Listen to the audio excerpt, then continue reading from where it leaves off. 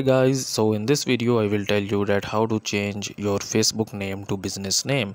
So before starting the video i want you guys to like this video and make sure to subscribe to our youtube channel for more tips and tricks like this one.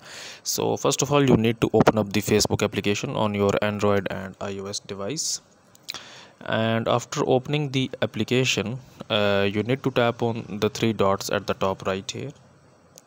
And then you need to tap on your profile image here and once your profile is loaded up so we have to wait until it's loaded up. You need to tap on these three dots here okay?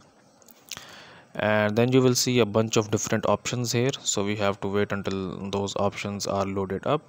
So here you can see that here it says turn off professional mode. So in your case it should be saying here that turn on professional mode. So you have to convert uh, your facebook profile into a facebook uh, pro professional mode page.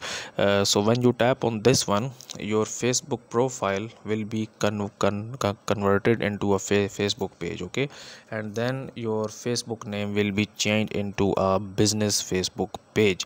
Uh, so that's how to change the facebook name to a name so guys if you find this video useful kindly like this video and subscribe to my channel and i will see you in the next video